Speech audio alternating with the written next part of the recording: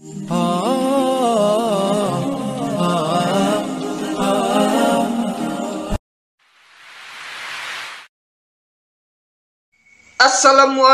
warahmatullahi wabarakatuh. Sahabat Bamis di mana pun kalian berada Semoga diberi kesehatan umur yang berkah dan rezeki yang berlimpah oleh Allah subhanahu wa ta'ala. Ini isinya daging semua saudara Sebentar lagi kita akan menyaksikan video Dan kita akan tahu Siapa yang pecundang Siapa yang pejuang Dalam polemik nasab habaib Langsung aja kita simak videonya sama-sama ya. Check it out. Seperti dulu Mahesa pertama kali, saya mendengar ada, ada sesuatu ini tadi semua. Ya, Zaini, Tuan Guru Zaini, sama tadi semua. Mungkin juga Ustadz Adi Hidayat, Ustadz Abdul Somad. Pada saat Anda bicara sejarah, maka saya akan lebih mendengar adalah Profesor Anhar Gonggong. Mau ngomong apa gitu. Pada saat dia ngaku emas, tapi ternyata adalah baja. Tadi semua, ya tadi. Harus membuktikan. Jadi nggak bisa Gus Miftah ngomong begitu. Saya bisa membedakan seorang ustadz, seorang kiai yang membela Ba'alwi, mana yang sudah uh, apa nah, ada tai kotok di kepalanya. sudah ada rupiah. Karena dalilnya itu akan beda keluarnya itu. Di pendengaran orang-orang kaya seperti saya itu kedenger gitu kan tadi. Dalil yang murni dari hati sanubari, yang bicara charge tadi semua. Karena Allah, karena cinta. Tapi dengan dalil yang kalian ucapkan itu dengan ada pembayarannya, ya di semua tentu akan beda terdengar suaranya. Jadi nggak bisa, Mas Wafi. Ya bagaimana kalau seandainya nanti ternyata mereka asli? Ya nggak apa-apa juga. Toh niat kita dari sekarang pun bukan untuk modal mereka. Maka tolong juga kepada Mbak Alwi, jangan ada bahasa istilah membegal. Siapa membegal?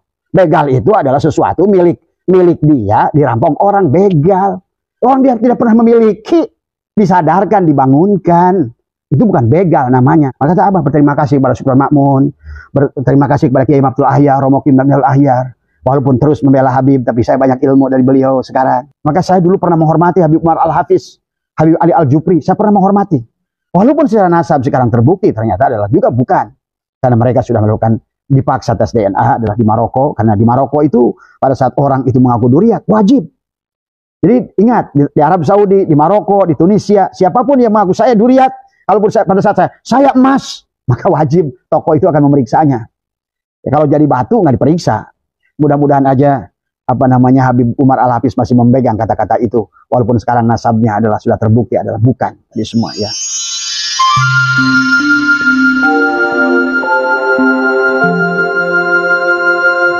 Terima kasih Kiai Imad, terima kasih Kiai Miftahul Ahyar, terima kasih Kiai Sukron Makmun, Terima kasih uh, apa namanya uh, Mbak Alwi ya. Dan saya khusus bersyukur kepada Allah alhamdulillah. Dengan kasus nasab ini saya bertambah satu pan ilmu yaitu adalah ilmu nasab. Saya berterima kasih pada Kiai Imad bahwa dengan adanya kasus nasab ini adalah alhamdulillah wa syukrillah ada satu ilmu lagi yang dipelajari yang akhirnya turunannya adalah berkembanglah pada ilmu-ilmu yang lain jadi rajin membaca tafsir, jadi rajin membaca kitab-kitab sejarah, ya, menjadi rajin membaca apa namanya kitab-kitab uh, nasab, ya. Ini adalah sebuah apa namanya hikmah yang luar biasa. Dan terima kasih kepada Kiai Imad yang telah mengajarkan banyak kepada kami. Dan juga ya walaupun adalah seolah-olah Kiai Miftahul Ahyar dan Kiai Sukron Makmun adalah antitesis kepada Kiai Imad, tapi bagi saya juga terima kasih telah mengajar kami adalah cara bagaimana juga dari itu juga sama ya. Dan juga tentu saja terima kasih kepada uh, apa namanya uh, semua pihak para ulama yang telah banyak bicara di dalam kasus nasab ini. Jadi ini ada pertanyaan sahabat abah yang bertanya abah nggak takut dengan bawi enggak jadi karena saya menganggap bahwa apa namanya saya tetap memandang bagaimana guru saya menyayangi orang yang menyakitimu. Dan saya juga selalu berusaha memandang segala sesuatu itu adalah mencintai karena Allah dan juga kalaupun marah karena Allah ya. Kemudian juga kalau mencintai apa namanya karena Rasulullah dan kalaupun marah karena Rasulullah dari semua ya. Karena pada dasarnya dengan kasus Ba'alwi ini saya menyaksikan afal Allah yang luar biasa baik pada sifat jalalnya baik pada sifat koharnya baik pada sifat jamalnya maupun pada sifat kamalnya jadi orang yang sekarang ini berkecimpung di bidang nasab ini ini adalah nampaklah nyata Allah pada jalalnya tadi. Allah pada koharnya, Allah pada jamalnya, dan Allah pada kamalnya. Maka pada ulama-ulama yang berjuang di dalam kasus nasab ini, baik dari pihak Ba'alwi maupun dari pihak Kiai Madudin, ya juga. Karena semuanya adalah ilmu. Walaupun judulnya ada perdebatan, tapi perdebatan itu memperlihatkan, kata saya tadi, adalah ada yang membawa sifat jalalnya, walaupun dengan marah-marah. Ada sifat koharnya, walaupun dengan memaksa. Ada yang juga membawakan sifat jamalnya dan penuh kelembutan dari semua. Dan ada juga yang membawa dengan sifat kamalnya, kesempurnaan antara Abu Bakar dan apa namanya dengan Umar bin Khattab dipadukan dari semua. Ya, sekali lagi saya berterima kasih ya karena untuk apa namanya uh, membuat tesis yang yang sedahsyat ini ya dari semua ya. Tentu adalah karena berkat rahmat Allah yang maha kuasa ya tadi semua. Maka saya mengucapkan khusus kepada Kiai Madudin semoga Allah senantiasa memanjangkan usianya dan semoga senantiasa bahwa tetap lurus di dalam niatnya. Saya percaya kepada beliau bahwa semuanya adalah Kiai Madudin Gus Abbas Bagus Mugi semuanya. Selamat berjuang semua ya. Semuanya adalah atas nama cinta tadi semua. Saya percaya yang saya rasakan Bahkan saya belum pernah ketemu dengan Gus Abbas, saya belum pernah bertemu dengan Kiai Madudin, tapi inilah kebenaran, karena kebenaran itu akan mencari jalannya masing-masing. Kebenaran itu akan menyatu dengan sendirinya dengan kebenaran tadi semua ya. Terima kasih juga pada Bang Haji Roma tadi semua. Tadi dengan video yang sangat penuh dengan cinta. Luar biasa Pak Haji Roma ya. Luar biasa. Kalau menurut saya adalah beliau adalah benar-benar seorang hati berlian tadi ya Kemudian saya seyakin-yakinnya bahwa apa namanya Kiai Imad dan kita semua adalah melakukan ini adalah demi kebaikan tadi semua ya. Baik adalah bagi Ba'alwi sendiri maupun kepada muhibinnya tadi semua ya. Hal ini sama dengan apa yang saya rasakan. Saya yakin apa yang dirasakan Kiai Madudin, apa yang dirasakan Kiai Abbas adalah sama. Pada dasarnya adalah kalau seandainya Ba'alwi ini hanya ngaku adalah sebagai duriat Pak Jokowi atau duriat siapa lah mungkin Ronald Reagan atau siapa kita nggak peduli tadi semua tapi kemudian adalah karena Ba'alwi ini adalah menisbatkan kepada seorang manusia agung yang merupakan utusan Allah tadi semua. Maka tentu ada konsekuensi hukum, ada konsekuensi akidah yang harus difahami oleh kita. Jadi tolong jangan marah tadi semua ya, karena semua kita lakukan adalah atas nama cinta tadi semua ya. Jadi ada dua hal yang malam hari ini sahabat ya permintaan dari teman-teman yang insya Allah akan bahas adalah adalah yang kenapa menjadi keberatan saya dengan Ba'alwi ini adalah adalah yang pertama adalah uh, tentang kasus nasab ya dan kemudian yang kedua adalah kasus adalah yang bagaimana Ba'alwi sekarang apa nama telah menghilangkan jejak sejarah dari semua padahal ahli sejarah seperti Profesor Dr. Anhar Gonggong telah menjelaskan membantah semua yang dikatakan oleh Ba'alwi tadi semua tentang sejarah maka walaupun adalah kalian ulama ya termasuk maaf mungkin juga Ustadz Adi Hidayat Ustadz Abdul Somad pada saat Anda bicara sejarah, maka saya akan lebih mendengar adalah Profesor Anhar Gonggong dari semua. Karena fas'alu ahla dikri in kuntum la ta'lamun. Demikian juga, saya juga terima kasih kepada Kiai Abdul Ahyar tadi semua. Walaupun masih insisnya, tetapi ilmu ya. Kemudian juga sama Kiai apa Sukron Makmun juga dengan pembelaannya kepada Ba'alwi juga adalah ilmu yang banyak yang saya bisa pelajari. Tapi kembali menyangkut ilmu nasab, maka saya lebih percaya kepada Kiai Madudin. Tadi semua karena beliau telah membuat sebuah tesis dan membuat sebuah tesis itu walaupun kalian tuduh apa pun, copy paste dan lain sebagainya bagi saya yang sudah membacanya kalau menurut saya adalah sebagai bukti bahwa tesis itu tidak uh, simple adalah sampai hari ini saya menunggu tadi semua. Maka bantulah kami wahai Robito Alawiyah. Selamatkan kami yang mendukung Kiai Madudin tunjukkan kepada kami adalah kalau memang Kiai Imaduddin itu salah, maka tunjukkanlah adalah kitab yang sejaman ataupun kitab-kitab dari ulama yang mengisbat kepada mereka. Walaupun nanti karena ini kembali saya ingatkan adalah ilmu nasab ini adalah ilmu pan fikih ya, akan kembali saya rasa di ujung-ujungnya adalah harus melakukan tes DNA supaya semuanya ini tadi semua ya. Jadi indah betapa indahnya Allah mengajarkan kepada makhluknya ilmu, ilmu baru tentang ilmu nasab ya. Tentang ilmu ini mengajarkan kepada kita mengenal diri kita yang nanti akan mengenal kepada baginda Nabi Muhammad SAW yang penghujungnya adalah mengenal kepada Allah. Itu tujuannya secara hakikatnya. Tetapi kita adalah tidak bicara secara hakikatnya saja, tapi harus bicara juga secara syariatnya. Ya. Jadi uh, kemudian kasus nasab memang jujur, jujur saja, ya, membawa emosi jiwa ini bergetar tadi semua, ya. Karena ada ketidakrelaan di hati ini pada saat seseorang dia mengaku duriat ya. Tapi pada saat di zaman penuh dengan apa dunia medsos keterbukaan tadi semua di zaman ilmu pengetahuan ya tidak bisa seperti halnya zaman dahulu sahabat. Karena sekarang ini pada seseorang mengaku ya. Jangankan untuk menentukan nasab seseorang. Menentukan kadar sebuah emas. Tadi kenapa barang-barang berharga itu harus diuji? Emas ada uji bahkan maaf barang elektronik pun adalah di pabrik-pabrik harus dikiusi tadi semua jadi tolong pemahamannya juga kepada siapa pun kiai yang mendukungnya, hormati ilmu pengetahuan. Karena ilmu pengetahuan itu adalah jujur. Saya percaya dengan apa namanya mereka para saintis, ahli-ahli ilmu pengetahuan, karena saya yakin kalaupun ilmu pengetahuan bisa salah, tapi ilmu pengetahuan tidak pernah bohong, ya. Dan karena saya tahu bahwa ilmuwan itu sangat respect kepada ilmunya. Ini yang saya tahu karena saya juga adalah seorang insinyur dan master ya dalam bidang apa namanya uh, dari ilmu dari IPB Bogor tadi semua ya. Jadi pahami. Jadi eh, banyak hal yang saya pelajari di, dengan dengan kasus nasab ini ya. Nah inilah kemudian banyak hal yang yang agak rancu kita dengar tadi semua ya. Selain mereka adalah mengaku duriat kepada Nabi dan sampai hari ini mereka tidak bisa membuktikan baik itu dengan kitab-kitab apa nama nasab maupun dengan tes DNA. Eh, kemudian muncul lagi dari pidato-pidato mereka adalah tentang pengakuan kepada apa namanya uh, kepada sejarah-sejarah bangsa Indonesia. Ini yang membuat juga wahai para kiai yang mendukungnya mari kita sama-sama tumbuhkan rasa nasionalisme kita. Kita harus bangga sebagai bangsa Indonesia. Jangan sampai kita malu dengan para pahlawan kita. Kita harus merdeka dalam pola pikir kita adalah dari adalah apa penjajahan berupa pemahaman-pemahaman yang penuh dengan feodalisme tadi semua ya. Jadi apa namanya uh, apa namanya uh, kasus nasab membawa emosi jiwa ini karena tidak rela ada sekelompok tadi dari semua. Tapi mereka yang mengaku duriat rasul tapi tidak menunjukkan akhlak adalah sebagai duriat rasul apalagi akhlak sebagai Rasulullah. Kami tidak menuntut lah akhlak ya karena akhlak itu memang gak ada hubungannya. Sebagaimana Kanan tidak bisa akhlaknya kayak Nabi Nuh dari semua.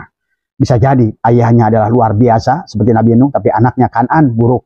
Atau bisa jadi ayahnya adalah ajar adalah apa namanya seorang musyrik tapi anaknya adalah uh, apa Nabi Ibrahim bahkan melahirkan Ishak dan Ismail. Dari Ishak melahirkan Musa di dalamnya di situ. Bapak daripada Musa bapak daripada Isa dan bapak daripada Muhammad. Tadi semua ya.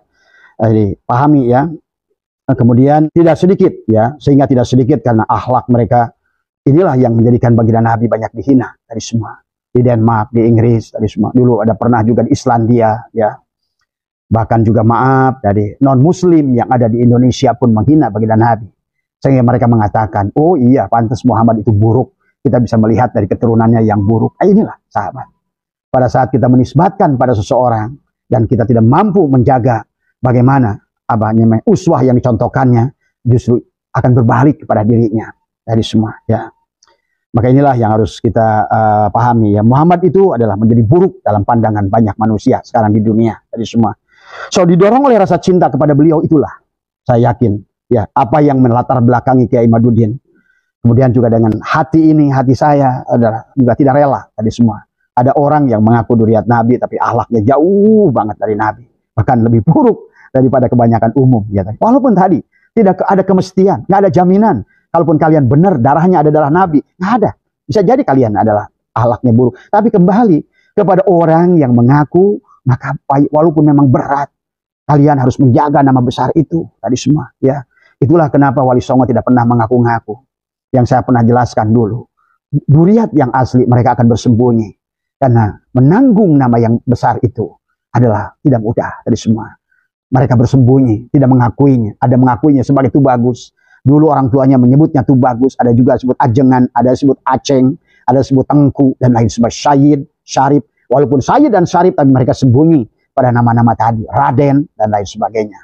Karena tadi satu takut mereka itu tidak bisa membawa nama yang agung itu dari semua ya.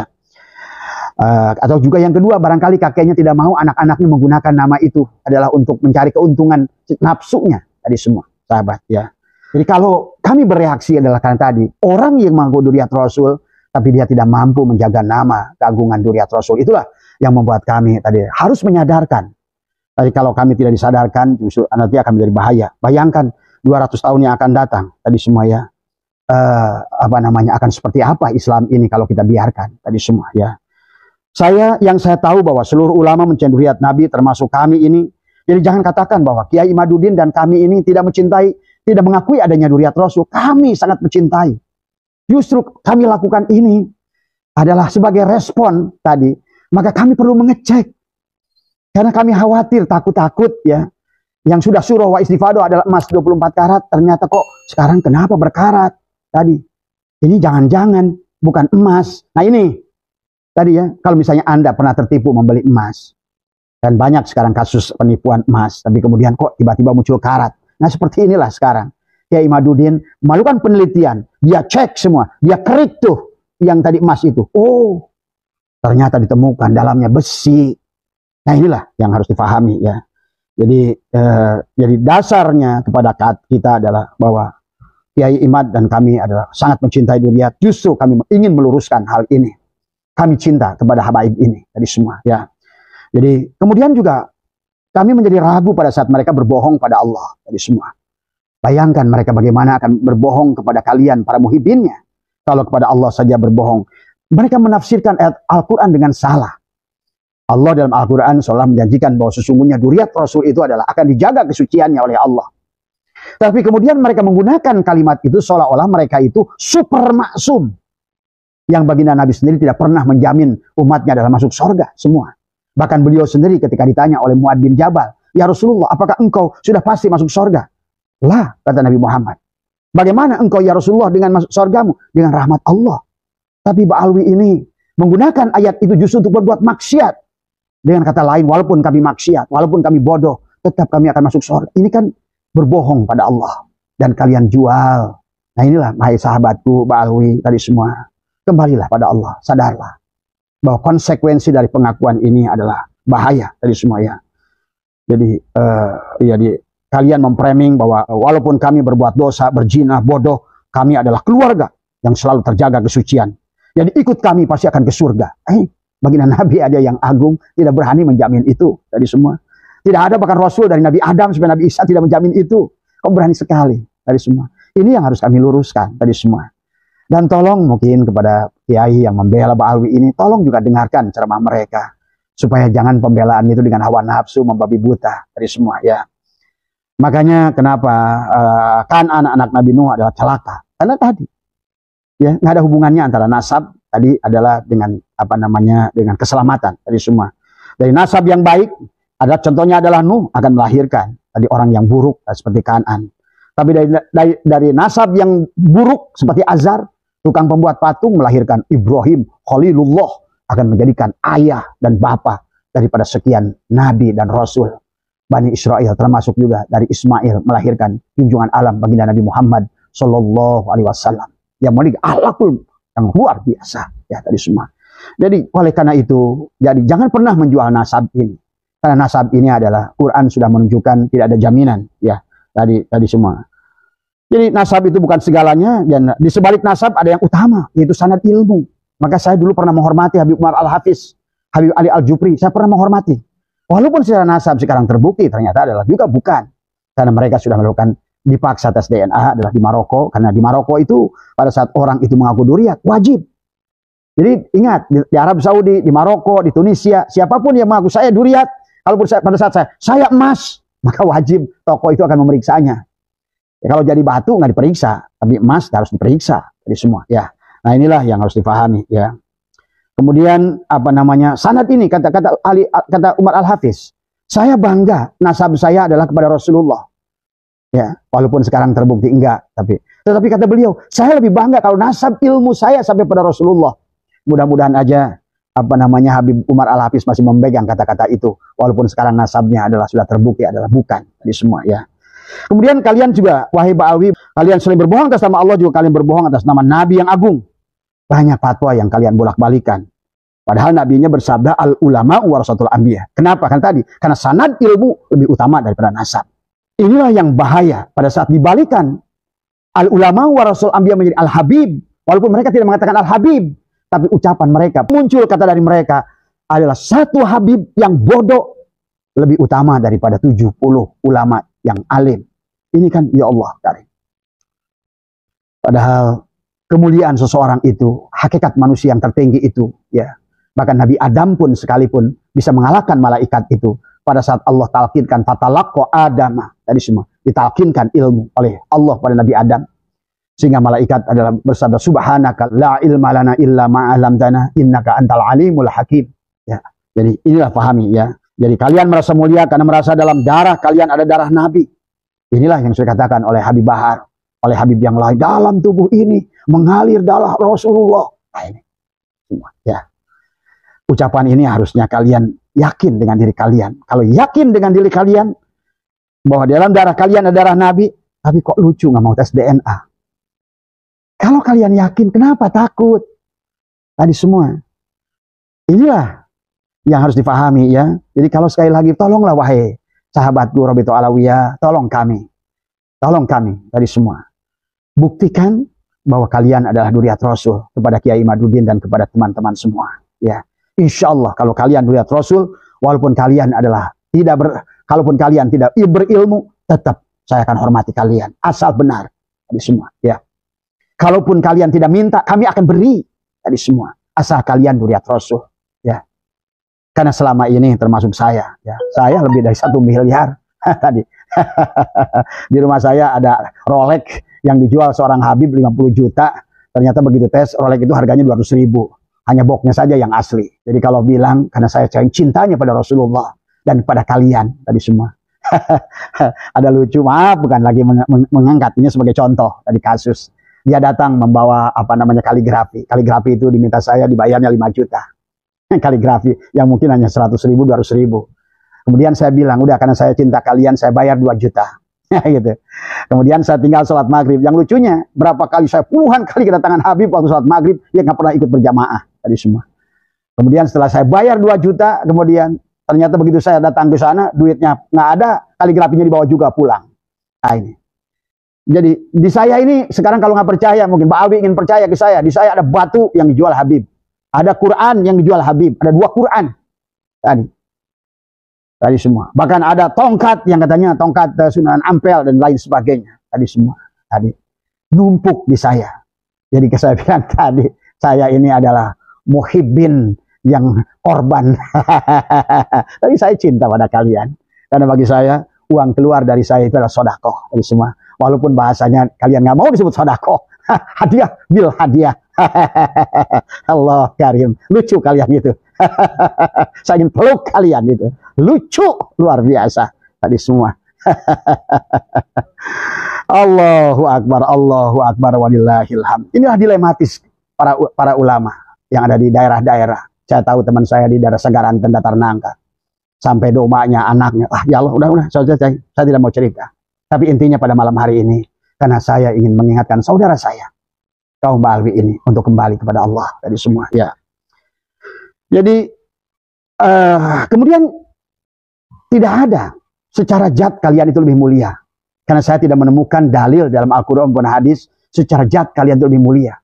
Jelas Allah sudah berfirman tentang walakod karomna bani Adam.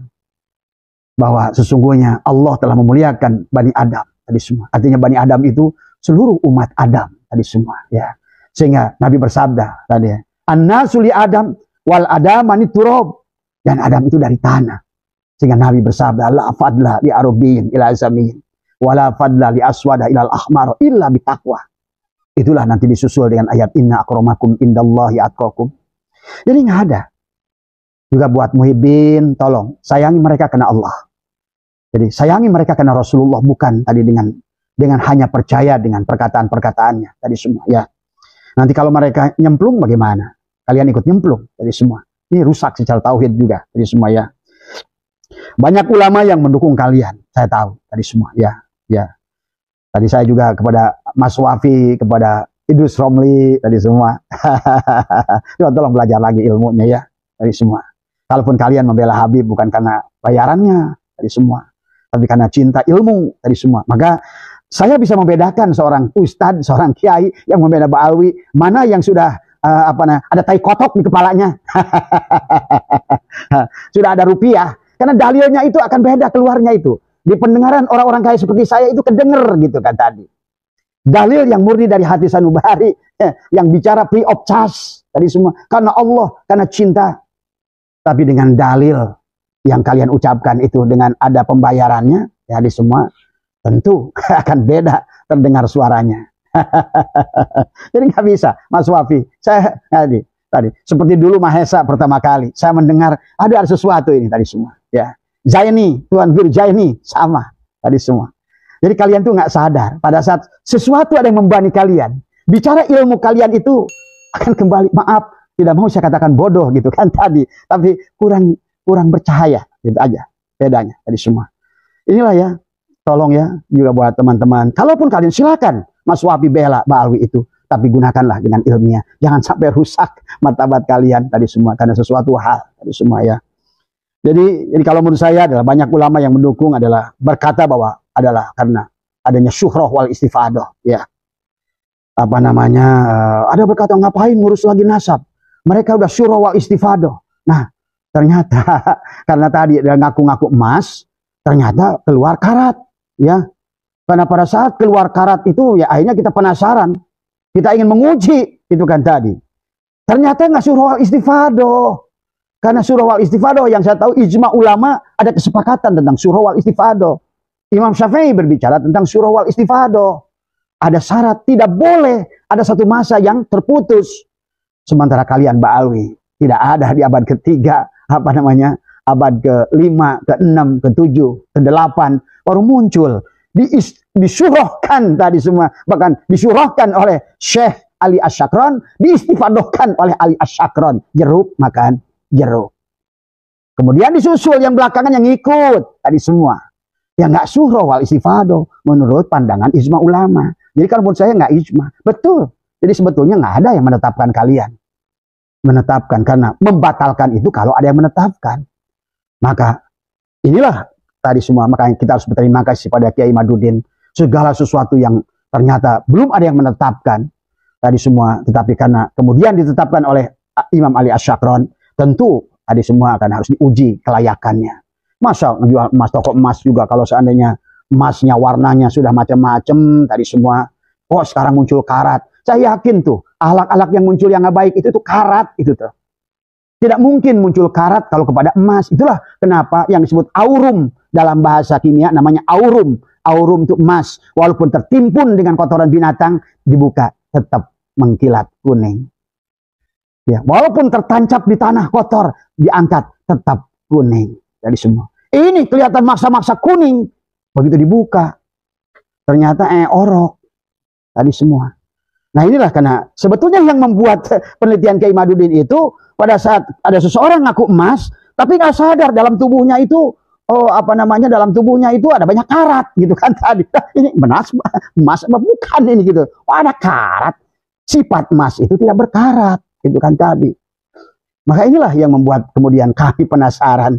Akhirnya kita mengundang akhirnya muncullah uh, profesor ahli filologi muncullah profesor ahli sejarah muncullah profesor ahli genetika, muncullah profesor ahli antropologi, sosiologi. Semua saya yakin belum kenal dengan Kiai Madudin. Tapi inilah kebenaran akan mencari jalannya masing-masing. Maka kebenaran itu sebetulnya nggak usah khawatir. Karena kebenaran itu adalah kebenaran, ya tetap kebenaran. Seperti emas. Emas, ya emas. Ditumpuk dengan ee, emas. Tetap tadi semua ya. Jadi tolong ya semua. Jadi maka saya juga pada kesempatan ini ingin berkata kepada Gus Miftah. Karena Gus Miftah ada ceramah. Hei Gus, jangan rambut aja dipanjangin. Tadi semua. tadi. Mulai pikirnya dipanjangin gitu kan tadi. Jangan disaritem melulu gitu kan tadi dakwahnya. Tadi semua ya. Maaf, maaf, bercanda, bercanda tadi semua. kan kita pernah ketemu sekali dulu. tadi semua ya. Jadi kata Gus Miftah, kita husnudan saja bahwa ini kan udah surah wa istifado. Bicara surah wa istifado, Gus, ada ilmunya dari semua. Maka sebelum bicara bahasa istilah saja, surah wal istifado. Apa itu surah? Itu apa istifado? Harus ngomong itu harus ngerti dulu gitu kan tadi. Nanti lucu kelihatannya bagi orang yang paham tadi semua ya. Udah husnudon saja. Toh kalau mereka bohong buat tanggung jawab mereka. Aduh Gus, nggak kasihan sama mereka. Kalau mereka ternyata bukan, kata Gus Miftah, kalau ternyata mereka itu adalah Bukan, terserah mereka. Yang penting kita udah terima saja. Duh, kalau begitu kita membiarkan Mbak Alwi ini celaka. Walaupun tetap, Gus, saya percaya mereka akan disafati oleh baginda Nabi. Tapi kan udah malu. Udah ngaku-ngaku tadi semua. Malu, gitu kan tadi. Tapi itu kembali. Tapi masalahnya kalau kita biarkan, berarti kita nggak nolong mereka. Sementara ada perintah dari Allah wa tawasau bil haq wa tawasau bisob. Ingat, mereka itu adalah sesama saudara kita. Kita bersaudara dengan Ba'alwi itu, sesama Islam, sesama umat Nabi Muhammad. Tadi semua. Maka kita wajib mengingatkan kepada siapa pun yang salah. Jadi kalau menurut saya Gus Miftah ini metode logikanya salah tadi semua. Biarkan saja mereka. Karena takut dia bilang, nanti kalau seandainya gimana kalau seandainya benar? Kalaupun benar, nggak apa-apa, alhamdulillah. Kita pun akan berkata kepada Rasulullah, ya Rasulullah, kami melakukan ini karena cinta kepada engkau. Karena mereka ngaku-ngaku emas, tapi kami melihat karat. Tadi semua, tadi semua. Saya yakin Rasulullah akan tersenyum. Karena Rasulullah itu, kalian makanya kenali Rasulullah. Tadi semua. Orang yang buka buka puasa aja di bulan Ramadan, tadi bukannya dihukum, tadi semua ujung-ujungnya udah dapat kurma, dapat tidur lagi sama bininya di siang hari, puasanya dimaafkan lagi. Coba, itulah Rasulullah ya. Jadi tolong ya, jangan bawa sifat Rasulullah, sifat Allah seperti kita iri, dengki, pendendam. Enggak. Makanya kalau anggapan-anggapan semacam itu saya percaya walaupun kalian palsu tetap kalian akan dimaafkan. Cuma masalahnya kalau kepalsuan kalian dibiarkan itu bahaya buat kalian sendiri sahabatku. Dan saya melihat bahayanya hari ini. Tadi semua termasuk saya aja loh ada satu miliar kali kan ketipu. Walaupun saya nggak pernah merasa ketipu saya berikan karena rasa cinta. Ya sudah yang sudah ya sudah tadi semua ya. Bahkan ada saudara saya yang menikah dengan bangsa kalian tadi semua. Udah tinggalin sekarang tinggal anaknya jadi tadi semua. Saya nyekolahin coba tadi semua. Hanya bisa bikin eh oh eh oh eh oh gitu tadi. Tinggalin aja gitu kan tadi semua. Jadi mau ngomong apa gitu? Pada saat dia ngaku emas tapi ternyata adalah baja tadi semua. Ya tadi harus membuktikan. Jadi nggak bisa Gus Miftah ngomong begitu. Udah biarkan saja bagaimana kalau seandainya nanti ternyata mereka asli. Ya nggak apa-apa juga. Toh niat kita dari sekarang pun bukan untuk membegal mereka. Maka tolong juga kepada Mbak Alwi, jangan ada bahasa istilah membegal. Siapa membegal? Begal itu adalah sesuatu milik milik dia, dirampok orang begal. Orang dia tidak pernah memiliki, disadarkan, dibangunkan. Itu bukan begal namanya. Saudara sedang mengingatkan saudaranya gitu ya. Jadi tolong dipahami ya. Jadi jadi saya nggak setuju dengan apa namanya dengan Gus Miftah tadi semua ya. Justru apa kita mengingatkan mereka kasihan pada Habib ini. Walau saya yakin baginda Nabi akan memaafkan mereka semua. Ataupun sebaliknya, ternyata mereka benar, baginda Nabi pun akan memaafkan yang menuntut mereka. Karena dasarnya yang menuntut ini karena cinta pada mereka. Tapi kalau kita biarkan, bayangkan sampai akhir zaman.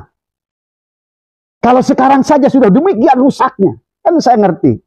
Dulu zaman saya masih jadi santri, saya kenal dengan Habib Hamid, saya kenal dengan Habib Syekh, saya kenal dengan Habib Yusuf, begitu luar biasa tadi semua. Amma Mudrika, dia orang tua saya, adalah ada pimpinan pondok pesantren Sikoyatul Rahmah, beliau. Itu kobong, kodimnya itu dari Habib Yusuf, tadi semua. Kemudian Habib Hamid, ya, tadi semua. Tapi dulu mereka berakhlak mulia. Jadi walaupun mereka dulu nasabnya palsu, bodoh amat. Karena memang terlihat emas di semua. Nah ini yang pas giliran zaman kalian ini, ngakunya masih sama duriat, kemudian karat udah muncul. Tadi karatnya udah muncul, udah karat udah muncul, ngaku emas, ngaku-ngakunya manusia, ternyata giginya ada darah, berlaku lah. Ya gimana? Orang, oh saya nggak pernah makan daging manusia, saya nggak pernah makan daging manusia, darah lepotan di sini. Ini kan masalah nasab ini begitu sekarang. Cuma kalian tidak pernah menyadarinya tadi semua ya. Maka kata apa? Berterima kasih kepada Sultan Makmun, berterima kasih kepada Kiai Abdul Ahyar, Romo Kim dan Ahyar. Walaupun terus membela Habib, tapi saya banyak ilmu dari beliau sekarang. Terima kasih, terima kasih, terima kasih. Karena sejak kasus nasab ini saya lebih agak cerdas memahami ilmu nasab. Terima kasih tadi ya. Kita ini saya banyak belajar dengan kasus nasab ini.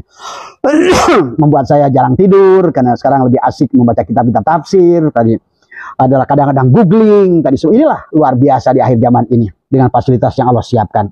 Dan juga saya apa namanya uh, sebagaimana firman Allah kemudian dikatakan juga baginda Nabi bersabda ya janganlah serahkan urusan kepada bukan ahlinya. Makanya dulu ada fikih sebut fuqaha ahli ilmu fikih fuqaha ilmu tafsir mufasirin ilmu hadis muhadisin ilmu hikmah sebut hukama tadi semua. Kayak dokter dokter gigi dokter mata dokter telinga nah tadi semua. Dokter saraf dokter jantung ini tapi ya tadi penyakit ulama sekarang ini merasa kayaknya dokter segala dokter. tadi semua. Inilah eh, tadi semua ya. Kita juga saling membenarkan nih sekarang semua. Ulamanya juga introspeksi sama tadi semua. Dan kepada Romo Kiai Haji Mipta kepada Buya apa namanya Yahya kepada Buya Kiai apa Sukron Makmun saya juga minta maaf ya. Tadi semua ya karena saya juga belajar dari Anda tadi semua. Karena ternyata dalam kasus inilah kenapa bagi dan Nabi bersabda perbedaan itu adalah rahmat tadi semua. Indah semuanya. Jadi saya belajar walaupun dari orang-orang yang antagonis belajar dari semua ya di alam dunia itu cuma Jalal, tadi Kohar, Kamal, dan Jamal. Udah. Pandanglah semuanya sebagai Allah. Tadi semua ya. Mana ada apal di dunia ini yang bukan apal Allah. Tadi semua ya.